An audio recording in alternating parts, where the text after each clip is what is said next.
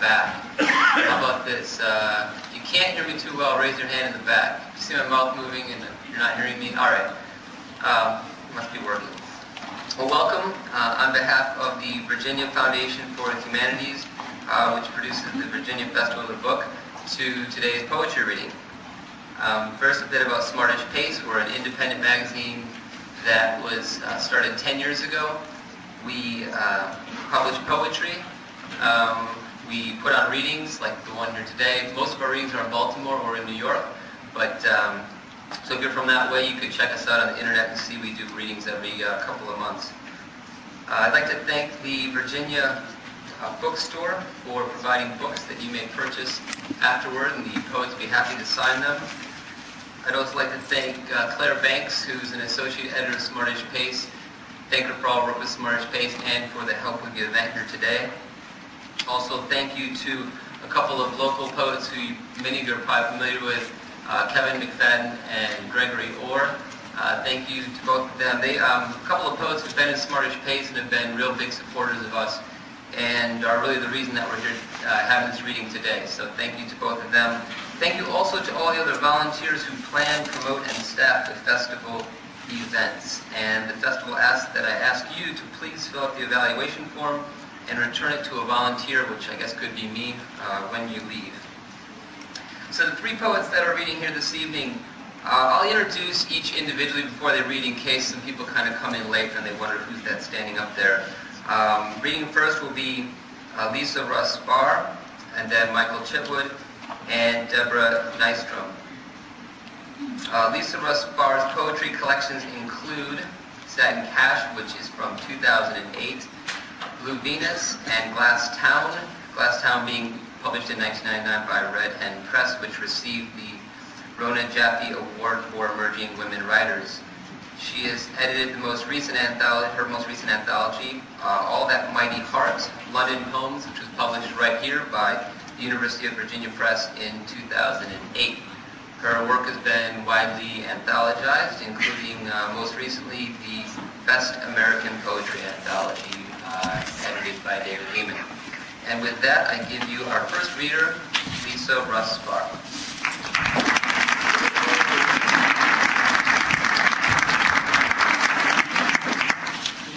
Hello, everybody. Thank you so much for being here. Um, I, uh, I, I recently read from Satin Cash, my new book, and uh, so I didn't want to bore people by reading from just that book again, in case uh, some of you were at the reading that Charles and I gave um, last semester, and also because um, some of my students, I teach a class on the contemporary American lyric poetic sequence, and uh, it meets during this time period, and I see all of you out there. So part they were asked, I forced them to come today. And so what I thought I would do is just sort of play a game uh, with my reading today, it, the kind of game I often play with my students. Um, I do think I have a problem. Uh, uh, St. Patrick's Day is my birthday, and I came uh, arrayed in a, I have a lot of St. Patrick's Day bling, you know, the big green afro, and uh, the glasses that are shaped like shamrocks. And I have a nice big uh, medallion that has uh, SPD on it, which uh, course for St. Patrick's Day, but I wore it to the series class on Tuesday, and we talked about how that might mean uh, serial poetry disorder. and so uh, anyway, I, I, do think that I, I'm realizing this now um, from working with them, that I pretty much have always worked in series. So this morning, to, to I got my daughter, I got her to pay me back. I had to get her up at 5.30 to take a timed AP test. And in return, I asked her to just go through um, a handful of my books, randomly picking poems. Uh, and then I, if they, they were in series, I decided that I would read them in the order in which she them. And then I could see if these single poems, which were part of a series, actually, in a way, formed in themselves a series and maybe speak to some of my obsessions, which include, I believe, God hunger, um, a conflation of the beloved with a big B and a little maybe language, hunger, penance, ecstasy, oblivion, memory. Anyway, the first poem that my daughter picked, uh, and it was one of those things where you just kind of go like that, um, is, is actually uh, the frontispiece for the new book, Satin Cash. And I realized that in a way, this, in a, this poem in itself is part of a series because I do put frontispieces in all my books. So I, that was something that she made me notice. Um, this poem is also part of a series because in this book there are several poems that take their titles, lines from other people's poems and journals. Uh, for example, Herself to Her Music from Emily Dickinson, or um, uh, uh, lines from Hart Crane or lines from Hopkins, you know, cold, resolved to be a religious and so forth. This is actually uh, a line from a review of, of Blue Venus um, that appeared in Shenandoah, and it, it was a positive review overall, I think, but the reviewer did say that the lyric speaker in the poems is so interior that one often wishes uh, that uh, Lisa Russ Spaar might ask, how was your day? And so um, I, just, I thought that was funny, and I decided to call this poem, How Was Your Day? How was your day? How can I know? Though certainly the moon, twice, once before dawn, its whelk face rotted with blue decay as you surrendered two hours like white flags, then slept again. And then at thrushed dusk, its green skull rising with such a human light. But here already, dear reader, I with certain habitual vagrancy of mind transgress, and the theory of separateness swells its logical dream music. Could it have been my hungry face staring down that Pissarric vault of swallowed stars, and you who rose, drenched and harnessed by tides, to dream of me. Uh, my daughter, Susanna, got stuck in this book for a while, and the next poem she picked uh, wasn't part of the series, but then the next one was. Uh, and I don't know how to classify this except that there are a whole bunch of sort of, um, I don't know, sex poems maybe? Uh, but that in which the you of the poem is a uh, could be a, a, a U with a, a large Y or not. And the poem is called Rendezvous. The pomegranate fuse of dusk on the wall behind you, and you within, like a secret side of the sky. What do I believe? I won't find it beyond this room. And when I said, oh God, I was not mistaken. And then the next poem she picked, I, I thought was interesting because it's now called After John Donne's To His Mistress Going to Bed. And I realized that it was a conflation of a little series that I had going for a while, uh, which, um, because I love that poem, and I, I decided you'll remember this passage from it. License my roving hands and let them go before, behind, between, above, below, speaking to his, his wife. Oh, my America, first lover, my newfound land, my kingdom safest when with one man manned. And I, I like this idea of writing poems, you know, a before poem and a behind poem and a between poem and above and below. And uh, I ended up, I can't read the other ones. They're, they were too naughty to get into the book. And I, but I think this one was before originally. So after John Donne's To His Mistress, Going to Bed. What might she send? A wet sleeve or platter of brine latticed bluefish, dusky with capers, lemons, wine, a briar for your thumb, a mouth lunatic to suck the blood, a signal that one too often inside and now beside herself with thoughts of you wonders how she might woo and through dew-wetted keyhole pursue and sing and win. She is marvelous with waiting. Come, hunt here, relieve with hands and tongue her heavy hour.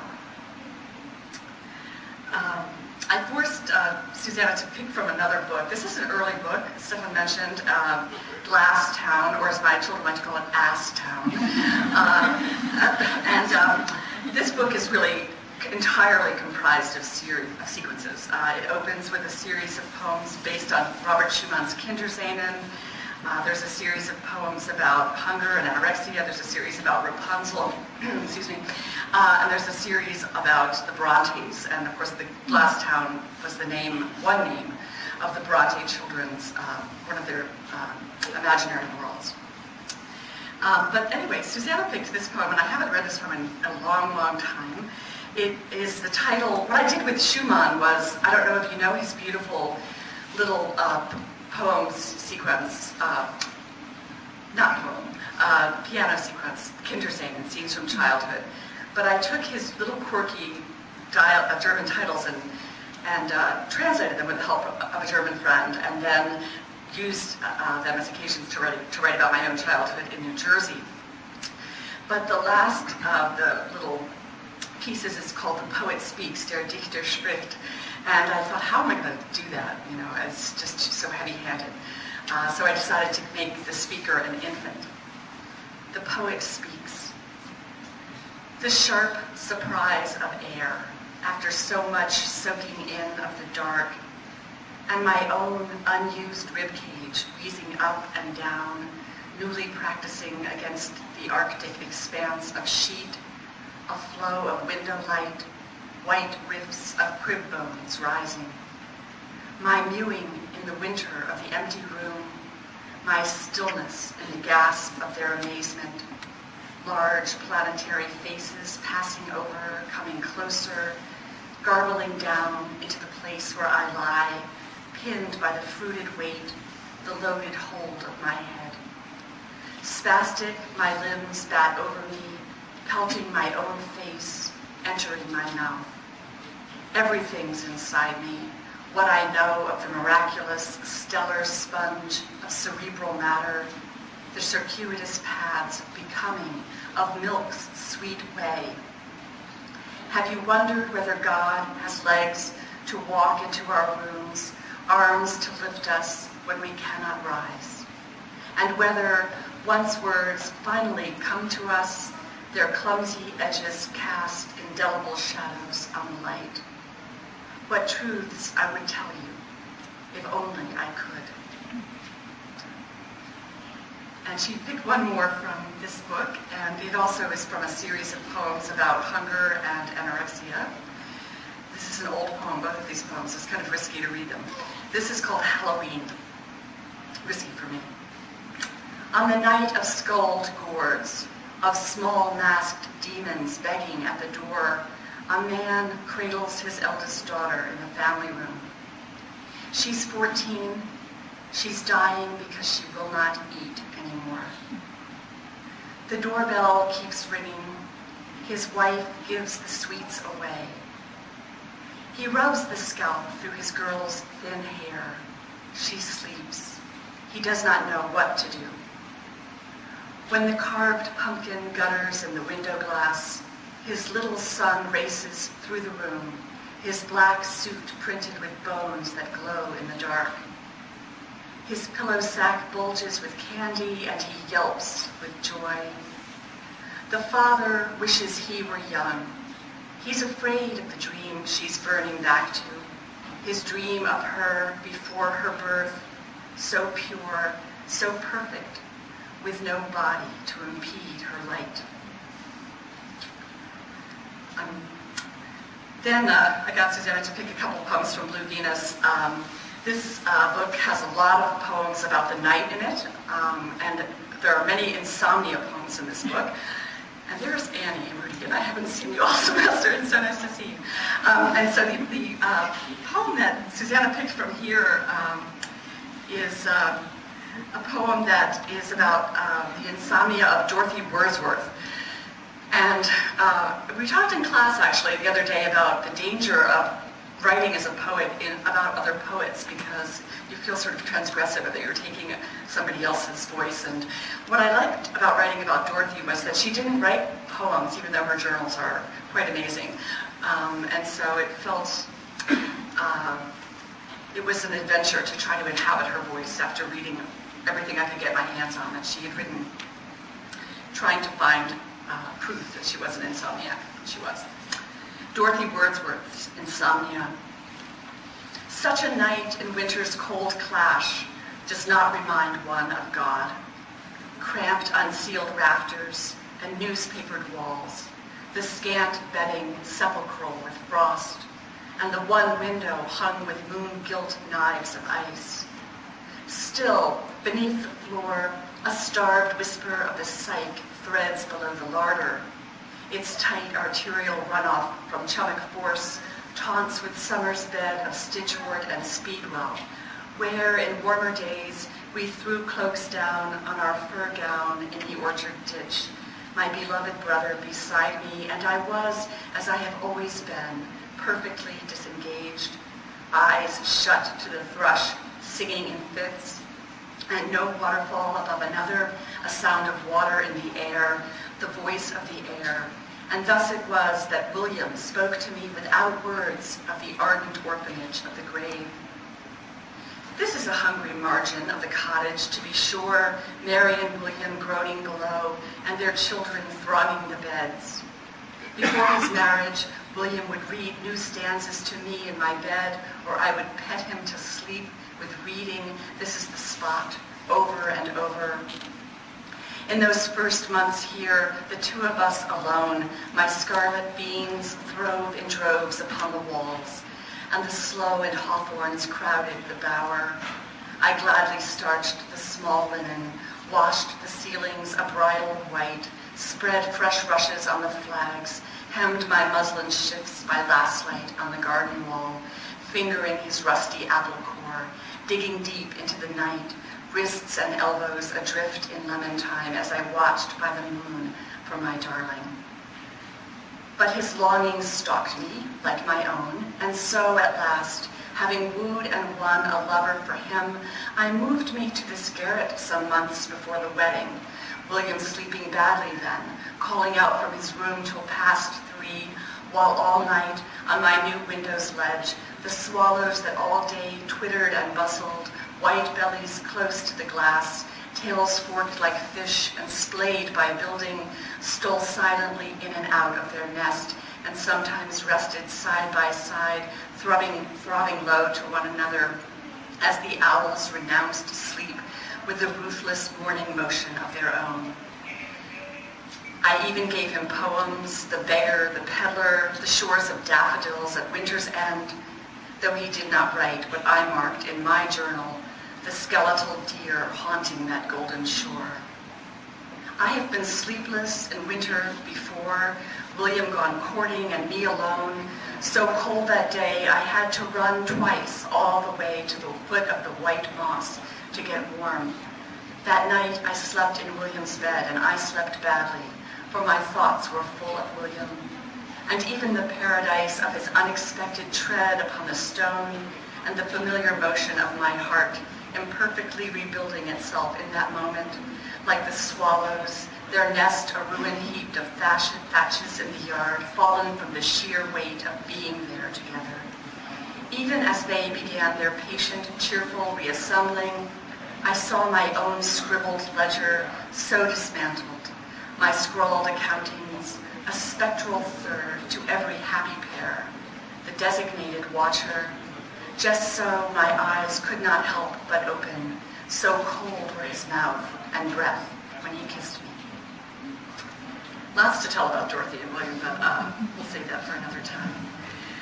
Um, I thought I would close um, with something new, some new stuff. Um, I, just because it's I I often, I always, well maybe for the past six years or so, every Lent, I set myself a task of writing a series of poems. I can never write 40 poems, but I, I write some, and they, they're in these different books. Lenten, uh, the penances, the illuminations, mortifications, etudes, shrifts. There's a, a, series about Holy Week. There's a series of anxiety offices, but this, uh, this spring I'm working on some impositions and uh, imposition, you know, meaning the stroke of uh, ash. And I'm just going to read maybe three or four of these, and they're shorter. Um, this, uh, the imposition one begins uh, with Mardi Gras, uh, the day before Lent, and try to picture, I think at the beginning anyway, a sort of a, the float of Bourbon Street over the Kama Sutra, maybe, where and Vishnu makes an appearance with his blue legs. Foraging, Mardi Gras. In Lenten overture, I float on tissue-palmed facade of chicken wire trailer, intoxications, fumes of gasoline, liquor, and overwork, days scatting its gilt beads into night's black-bound book, hinging every hope. Aisles of wonder lead me, charcoal strokes of thinned thicket, window flare. I'm riding toward you, palms bloody with henna, through the fiercest neighborhoods. I should be honest. My car's parked at Food Lion, and I'm pushing a wire cart through the pyramids, headless vials of wine, frozen meat in caskets so oddly spousal I shut my eyes and whistle past them. How long can this trip be if I already see its end? Truly, I can't whistle, yet hold tomorrow's ashes in my mouth, hot as your blue limbs, a secret pendulum hung with silks. Imposition two is called Ash, bringing us to Ash Wednesday, and it has a little epigraph from Gang of Four, a 70s punk band. This heaven gives me migraine. Forgive this stroke cashmere, thumbprint to the glabella, that's this bone, powdered smear, palm char paste, part spit, part bone loss, dental floss, whole envelopes of autographs, faces I've forgotten, holes of moments I've pictured that weren't mine to hold, to picture, all I didn't say but meant, told, took without asking, hid, fear, sold, hawk talon, cum stain, cloth sacked by placenta, ink husks sailing, subtracted shadows, lost cosmos of menarche, brain cells, and this bindi fascicle of worry, the cross I draw myself. Um, Natasha is here, and I'm going to read this poem because it, refers a little bit to something that you wrote about your grandmother, in one of your poems. This poem is called Snow, and if you spent Lent the last couple weeks, you'll know what day I'm talking about. Where is my sky, vanished cache of infinite breath, fasting, impossible to hold, by which I know myself? Instead, these close flanneled bolts, clownish shawls, infinite and careless. Do not be afraid, I murmur, moving, muffled by scarves, through curtailed acoustics, swiping my temperate broom across the flocculent path, fatted ivies, a bustle of shrubbery lands. I am afraid, wrote my student, of her grandmother's dementia, of her dimension.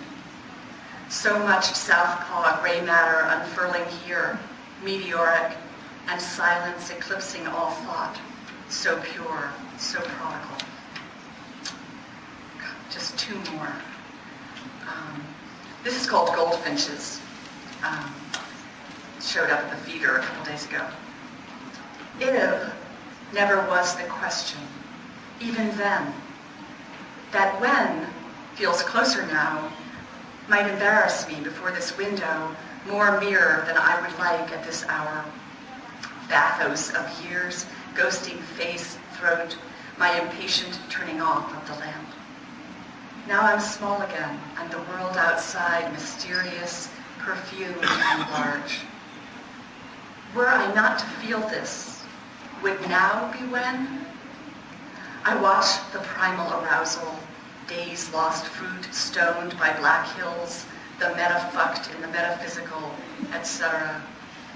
Then five duskal flames assign me the barbless dark, the barren cherry.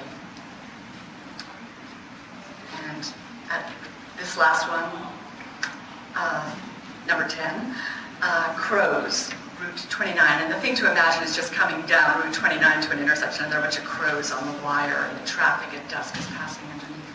It's in the voice of the crows. Wind shifts the power line. Oh, and this is, I read this for George Garrett, my beloved friend, who's, beloved Susan is here. He loved crows, taught me to love crows. Wind shifts the power line, repairing our dark quarrel, slurred and loaded above the rushing hour. Our narrator is melancholy. She rarely weeps, and mostly like this in the car, an intake as though to speak, then not. At the border, let's return her name if we can. Take it back, take it back, she once cried, straddling her sister. Undertow, abacus of blood and haloed headlamps below, make silence. At the signal, let us bellow our call. Awe, awe, awe. Thanks.